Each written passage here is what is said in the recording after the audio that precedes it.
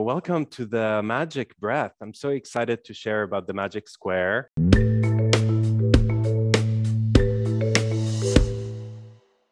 It is really just um, a framework, right, that keeps on growing. It is based on numbers, it is based on uh, math, right? So it's really very practical to use. And then you can take it in any direction that, that you want to take it. You can use it in your asana practice to organize a posture, to organize where you put your hands in downward facing dog. You can use it in your meditation to organize how you travel inside of yourself to organize your mind. You can use it in breath work, which is what we're going to do today, right? To have a nice routing to go through the magic square. And of course, you can use it to create a trip, a journey, you uh, like a, a travel plan. You can use it to organize a business plan, right? It is so adaptable to anything because it is archetypal. It is using numbers. It's using numbers from one to nine. No one can argue that there are more or less numbers, right? Like this is it. We have zero to nine, right? And this is it. And everything is constructed around these, uh, these numbers. And each number has an archetype. So we're gonna go, it's an introduction today, right? This whole thing can be a three hour workshop, which will be offered at some point. But for today, it's really like an introduction. We're gonna scratch the surface. For some of you who know it already, it's really nice to hear it, to hear it again. You will hear something else. And then if you have any insights, any questions, during the during the presentation during the practice let me know. We're going to start with a little bit of uh, screen share so that i can explain to you theoretically what it is. And then we're going to sit and experience it inside of the body through pranayama which is uh, breath work right? So um, let's start to talk a little bit about the Katonah yoga right? So it is a Taoist exploration of yoga. Most yoga is based on uh, Hinduism, right? And the Indian narrative, which is so wonderful. And we do use it. We do like we we include it in our uh, in in the in, in the way that we teach the class and all this it's not like we negate the indian and we just focus on the chinese but the focus in Katonah is a little bit more about uh, it's really using the Taoist principles, which we, we will talk about in a little bit. It was developed by Nevine Michaan, a great teacher in upstate New York since the early 1980s. So it's been, um, it's been happening for a while, right? And it's been growing throughout the years. Um, it, um, it is a mix of Hatha Yoga, right? With Taoist theory, Chinese medicine, sacred geometry, math, myth, and lots of metaphor. So this is really like an amalgamation of all of this inside of the practice, right? We call it a syncretic uh, practice, which means it is an amalgamation of so many different uh, religions, cultures, philosophies, and systems that come together to create something new, right? And it's not top down. It's not like there's a book and there's a method and this is the way it is and that's it. It's exactly the opposite of that. It is a set of frameworks and maps and theories that allow you to take them and to put them on top of your practice. So I know lots of people who use the Katonah on top of their uh, bodywork practice, on top of their uh, their Pilates practice. In psychotherapy, you can use it, right? There are so many, in in cooking you can use it, right, Cake? So there's a lot of there's a lot of um, a lot of usage to it way beyond the yoga itself.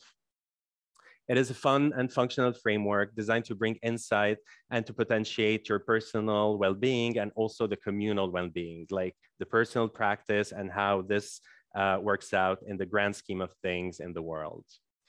The three principles that we play with are first, there's always a yin and yang. There's always polarity. You live in a dimension where polarity is the name of the game, right? It's all about that up, down, good, bad, uh, masculine, feminine, east, west, right? It's all about that, solar, lunar. But the thing is that you always have to remember that every polarity is mediated by a trinity. So every time you see two, if you put yourself in the middle, you're turning it into a trinity, and then you start to mediate the polarity. And that's what we play with a lot in Katonah Yoga. The second principle is that everything in the universe follows patterns or else or else it falls apart it cannot continue it cannot sustain so pattern is really the backbone of the universe, right? It is really the code for you to crack. Whenever you see a pattern in nature, whatever you see in pa a pattern in animal life or vegetal life or the seasons or the weather, try to follow it. Try to see what is it saying because you have it inside of you. It's the same patterns. It is the same cycles that go over and over just with different stories with different metaphors with different scales right? You have the scale of the universe and then you have the scale of the weather around you and then you have the scale of the weather inside of you and the cycles of your lives and the seasons that you're going through yourself. So pattern is a very important uh, aspect of our practice and then the third principle is the principle of repetition, right? Because the pattern repeats itself. That's the whole goal of a pattern, is that it comes and comes and comes. But the thing is, every time it repeats itself, it becomes more intelligent than the time before so that instead of turning in circles, you can start to see that you're turning in a spiral that can move upwards, right? So it is a pattern, but it is, it is becoming more and more intelligent. And the more you repeat something, the more you gain insight. Just like today, if that's the first time that you're listening to this, it, it will feel maybe a little bit too rigid or linear or like, wait, where is two, where is four? But then the more you do it, the more, the more you start to have insight, just like everything, right? So these are the three principles that we, um, that we play with. The magic square itself is very simple. It's a tic-tac-toe board, right? It's one, two, three, four, five, six, seven, eight, nine. That's it, right? Two lines and two lines.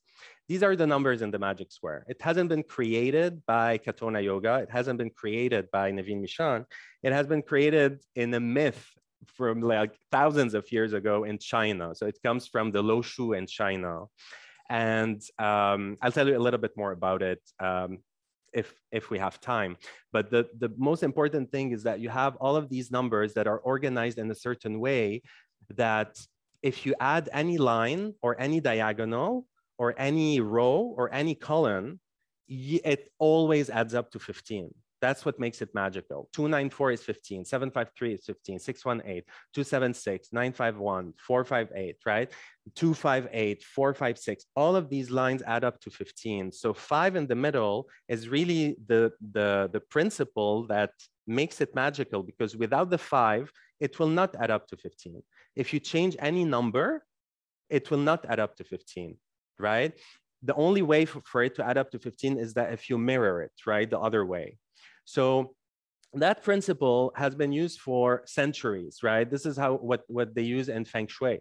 This is the, the same pattern that, that gives you the most, uh, the most efficient flow of energy in a house. So now here we use it to find the most efficient flow of energy inside of the body. It was discovered in the myth a long time ago. I think we'll talk about this another time because I just want to respect our one hour and 15 minutes and go through all of the program that we have, but you can read about it. It's called the Lo Shu. It was discovered on the on the back of a turtle, right? And this is the code, right? And you can crack the code by having one at the bottom, two here, three here, four here, five here, and nine at the top. So what Nevine did, she took that and she systemized, she she flipped it so that you are the magic square. You are looking out. So right, you are inside of it and you're looking out which means when you see the numbers like this, you see that two is on your top left on your screen, but actually two is your top right because you are inside of the magic square. So for you to understand this concept, and this is pretty important, I'm gonna stop sharing my screen and I'm gonna show you here how if that's my tic-tac-toe board, oh, the cat uh, completely, right? The cat changed the structure of it. But that's the idea, right? So it's a tic-tac-toe board. Five is in the middle, right? So my heart is five. It is in the middle of it. My right foot is uh, number six. My left foot is number eight.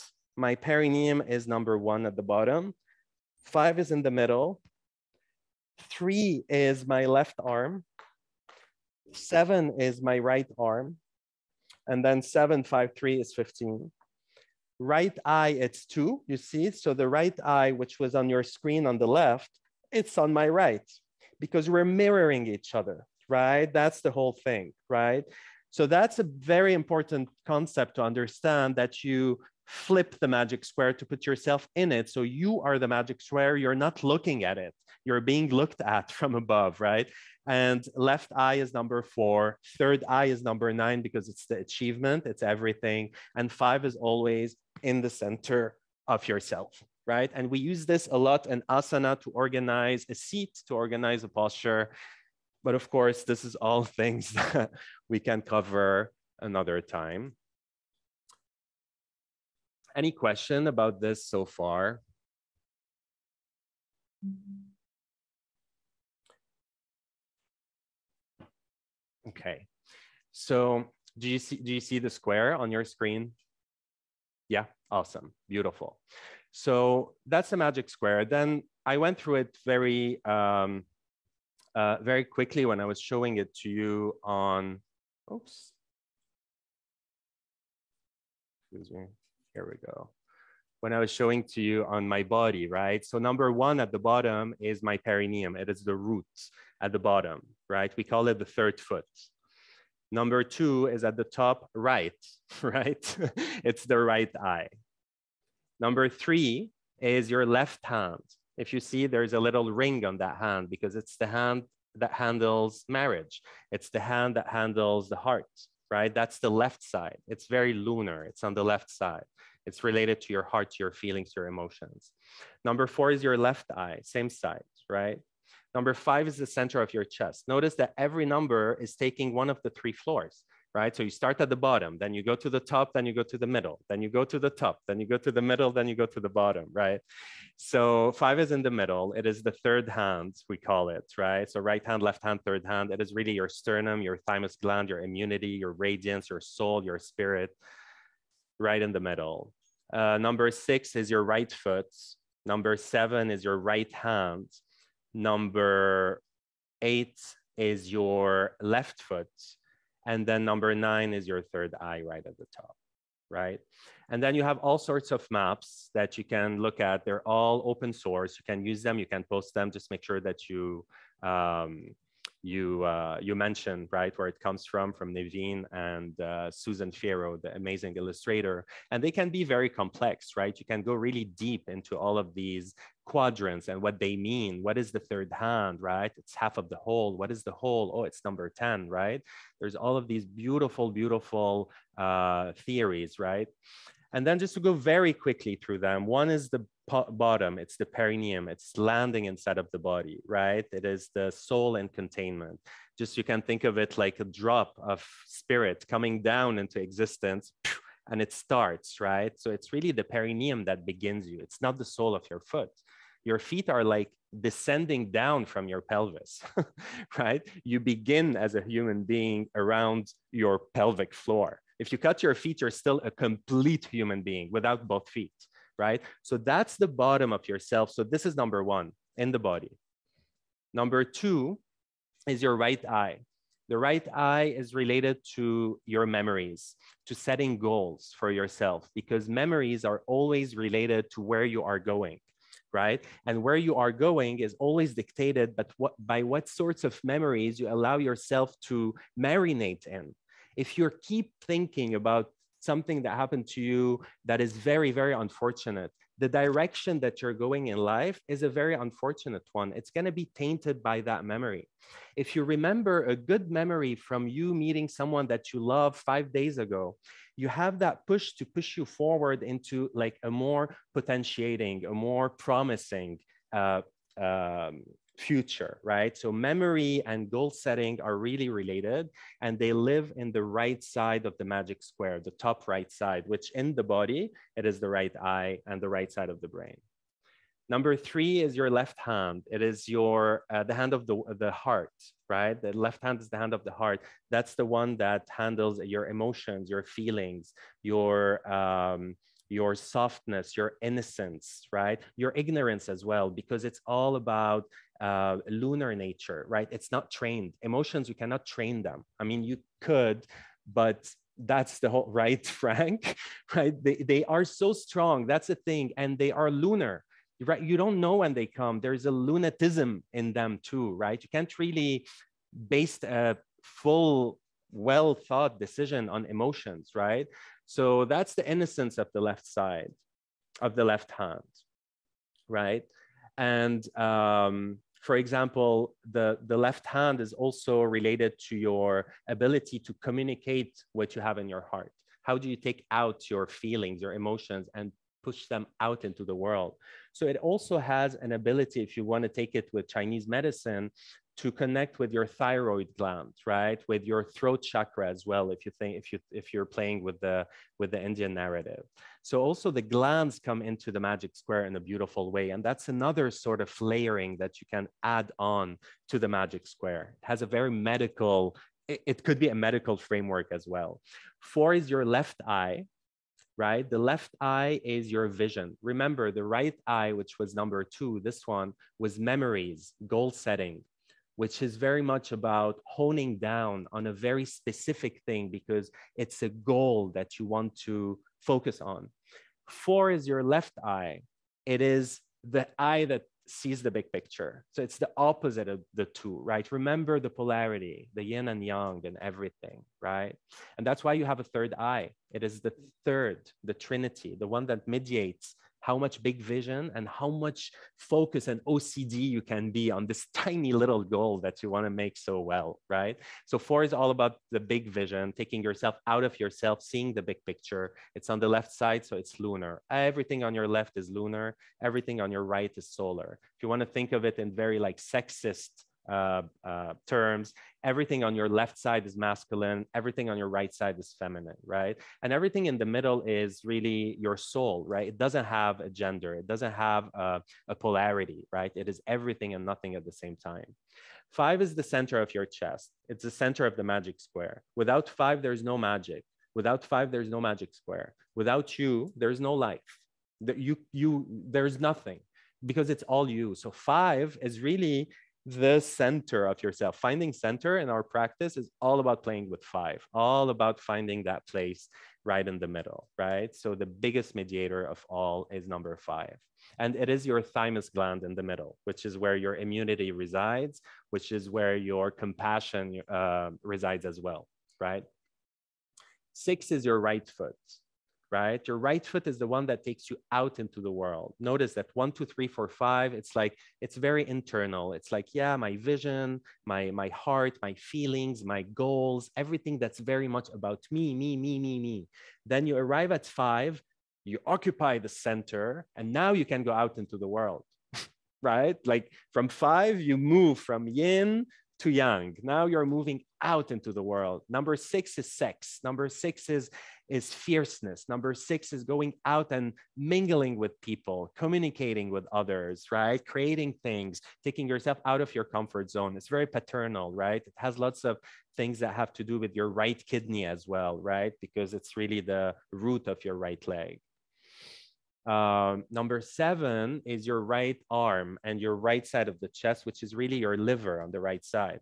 Your liver is all about taking you out into the world, right? Remember, now you stepped out of yourself. You can go out into the world and start to shake other people's hands, to make the deal, to sign the check, to make sure that everything can really start to move out. You can start to substantiate your visions and not just think about these things. Oh, I want to become this, I want to become that. Great, prepare it. But then are you moving out?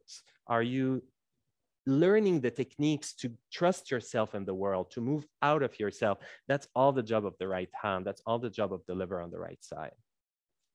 So the left hand handles the feelings, right? And the right hand handles the world. And then you are right in the middle, you're number five, right in the middle of this second polarity. Then eight is your left foot. Remember, the six was your right foot. The right foot takes you out into the world. Eight is your left foot. The left foot brings you into yourself. It takes you back home, right? It is the foot that takes you into your, uh, that reconnects you to your roots. It reconnects you to the earth, to nature, to the simple things in life. It teaches you patience, right? It teaches you how to accept patterns, how to accept cycles, how to accept aging. It's all in the left foot, in the left leg. And this is usually the one that many, many people struggle a lot in understanding in the magic square. And lots of people struggle a lot with some aspect in their left side. Because remember, the left side is very lunar, right? It is ignorant, it is untrained, right? So, and the right side is very much about techniques and knowledge and like scholar reading, podcast doing, right? Giving lecture. This, what we're doing now, it's very right side, right? So eight is uh, eight is that, right? That is really the maternal root, the one that takes you back home, the umbilical cord to the planet, if you want. And um, nine is the last number. It is the third eye, right? So nine is the achievement. You have went through this whole process. You reflected, you um, you articulated, you set a goal, you saw the big vision, you put yourself in the center of it, you stepped out into the world, you met the right people, you made a deal with yourself, you started doing it over and over again. You went into the pattern of number eight, and now you rise up to the third eye, and now you achieve it right at the top which is really this, this connection to something bigger than you, right? To the universe, to the big mystery of life right above you. So that's really the opening to 10, which is the whole. 10 is your whole body together. It's like a circle that encirculates your whole magic square. So everything starts very linear, right? We started as a grid and you have these quadrants inside of them.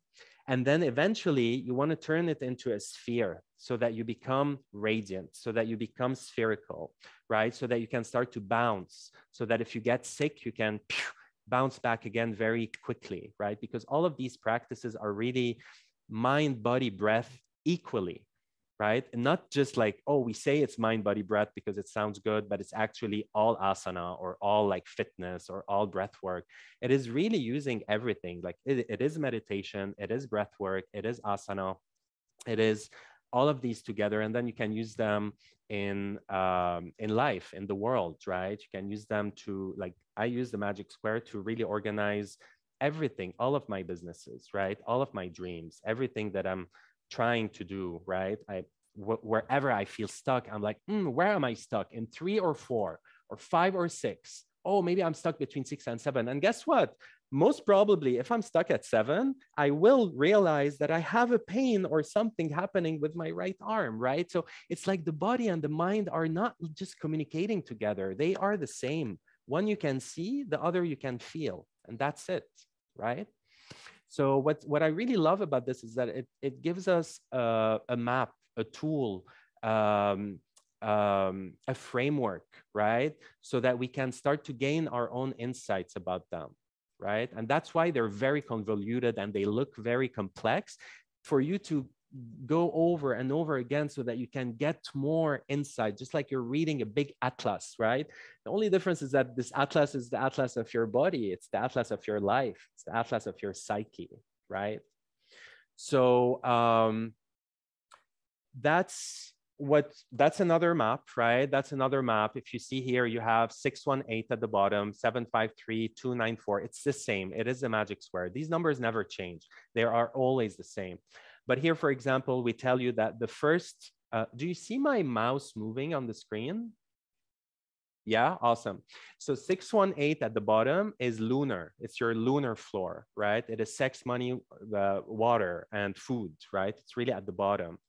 Uh, 753, it's the center of your chest. This is your solar floor, right? It's all about doing. It's all about uh, learning, uh, talking, communicating, uh, cooking, uh, doing things, right? That is the floor of doing. The bottom floor is the floor of being. The third floor, which is 294 at the top, it is your stellar floor. So you have lunar, solar, and stellar. Stellar is all about your vision, right? It is your third floor. Um, it is also parallel to the three natures, right? In, in yoga, the three gunas, the three natures, right? It is just um, presented in a way that is more relatable and, and um, simpler, right, to understand that there's a solar, a lunar, and a stellar. But then also, you can't just take it very linear. It's like, oh, only the bottom is, is lunar, only the middle is solar, only the top is stellar. Because remember, it's all yin and yang. Yin and yang are inside of each other. The mountain, when you see the, um, the sun uh, shedding the light on the mountain, the shadow and the light are, are part of the same. It is still the mountain, right? So that's the same idea with the, with the magic square is that yes, you have a lunar floor at the bottom. Yes, you have a solar floor in the middle. Yes, you have a stellar floor at the top. But guess what? Your right side, so two, uh, I'm sorry, four, three, I'm sorry, two, seven, and six are solar. The whole right side is solar. The whole left side is lunar. So four, three, and eight is lunar. And the whole middle is stellar, right? So one, five, and nine, it's stellar right in the middle, right? Because it's really uh, bridging the polarity between the solar side on the right side. Remember, doing things on the right with the right hand and getting married and loving others and loving yourself on the left hand, right? Which is lunar. And the middle is stellar, right? And then to make it a little bit more complicated for you to go crazy, you have back side of the body, front side of the body, and the, and the body itself. The back side is your past. The front side is your future, your potential. And the body is the present, right in the middle. So the backside, which is the past, it's lunar, right? It is lunar. You cannot see it. It's lunar. It's behind you the, the, the front side of the body right in front of you, it's solar. It's taking you forward towards the sun, towards the potential. And the body itself, the present moment is stellar, right? Because it's, it's now, right? It is this beautiful spark of presence in the middle, right? So that's it. And then you have all of these maps. What's beautiful about them is that they all follow the tic-tac-toe. they all follow one, two, three, four, five, six, seven, eight, nine. So you can start to superimpose anything on top of these maps and, and start to play with it. So you can create, for example, if you see that person in the middle sitting in meditation, which will, will be sitting in a little bit, right? Like this, you, you can see how he can be or she can be divided into these nine parts, just like I did it when I lied on my back, right? You can also start to travel from one to two to three to four to five to six to seven to eight to nine to create a route inside of you, right? So that you start to link all of these aspects of yourself, all of these polarities, right? Which is exactly what these numbers are always coming back through that center, right? That beautiful place of middle right? So that's what we use in our practices. And this might start to make more sense now, especially if you came to my classes. In, in classes, we go very quickly through things, right? We are moving from a posture to the next. You might hear some of these principles, but there's not really time to sit and understand what are these numbers? Why are we talking about right and left that way? Why is the sun on the right and the moon on the left? You know, all of these stuff. So here you start to get a little bit more of this um, these insights about it, right? And um, yeah, so one of the one of the goals also of the meditations that we do, because as I said before, especially the pranayama practice with the breathwork practice, for me, the Katonah way of doing it, it's so powerful because it has movement, it has breath work, and it is a meditation. So it's really bringing all of the aspects of yoga together into one. Here you see the King of the Mountain. If you're familiar with it, we do it many times, but you can do these meditations sitting down. I do it in Yoga Nidra sometimes, which has nothing to do with Katonah, but I bring the Katonah material to Yoga Nidra because that's what you do, right? You bring things and you cross reference, and that's when you start to get these really rich insights so that things are not linear right? So that it's not just a rigid system that that someone created and like this is it you have to go through that way. So yeah this is just to show you the wraps that we play with. You have the the uh, the wrap of the moment which is effort and grace. It's from one to nine up and down fire rising and water descending right? That's the wrap of the moment. It's like an orbit that you can orbit yourself with inhaling up your back and exhaling down your front right? We do this very often. Then you have the wrap of the hour, the wrap of time, which is from dusk to dawn. inhaling from the left shoulder to the right shoulder in front of you, and exhaling from the right shoulder to the left shoulder behind you. This is a second wrap that will put you in the middle of time. The other one will put you in the middle of the moment, right? So that's the hour. So it keeps on growing, right? From the moment to the hour coming here, tw 12 hours in front of you, 12 hours behind you, seven to three, dusk to dawn, heart and liver, that one. The third wrap is the wrap of the day. Notice how we're moving from moment to hour to day, right? The wrap of the day is from six to four, which is from the right foot to your left eye. It's a diagonal from the right foot to your left eye. Inhaling up your back, exhaling down your front, inhaling the night and exhaling the day, right? It is really how you wake up in the morning, your soul wakes up, and then your spirit descends down at night, right? It's all of these beautiful, uh, beautiful wraps here. Imagine how you can start to weave and to insulate yourself inside of these orbits. The fourth wrap is the wrap of the seasons.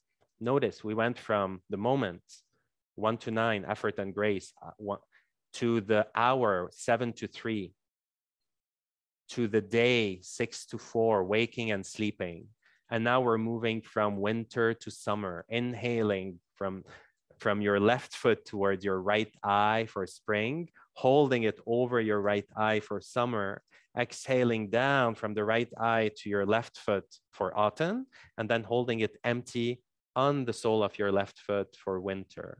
And that's the wrap of the seasons, right?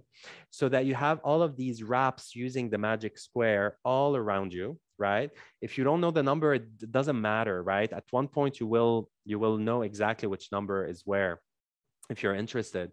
But the beautiful thing is that you can do it just without even knowing, just like you connect your right eye to your left foot and you start to inhale and exhale. But then you want a narrative. You want something. Why am I doing it? That's when you start to use the seasons or the day or the hour of the or the moment so that you can really start to weave a whole bubble, a whole atom, right? A whole beautiful cocoon around what? Five, which is in the middle. Without five, nothing of all of this is possible. It, it will always be polar. It will be either day or night.